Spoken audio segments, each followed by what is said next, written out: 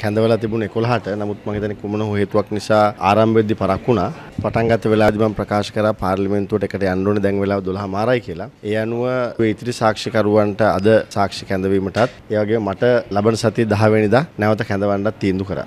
යම් කතිකාවක් ගොඩනගෙන පොදු සංධානයක් ඔබතුමාලා ගොඩනගන්න යනවා ජේ.වී.පී. සහ පක්ෂ සමග. එහෙම සාකච්ඡා මොනවද දෙයක් සාකච්ඡා වෙලා තියෙනවා. අපි තාමත් විවෘත වෙන්න මො සන්දානයක් හැදිය යුතුයි කියන තැන අපි ඉන්නවා. ඉතිහාසයෙන් ඉඳන් අපි ශ්‍රී ලංකා නිදහස් පක්ෂයේ තරඟ වැදලා තියෙන්නේ සන්දාන වලින්. ඒ නිසා ඉදිරියටත් ඉතාමත් පැහැදිලිව පුළුල් සන්දානයක් පිළිබඳව රටේ ජනතාව බලාපොරොත්තු දල්වාගෙන හිටියට කිසි ප්‍රශ්නයක් නෑ.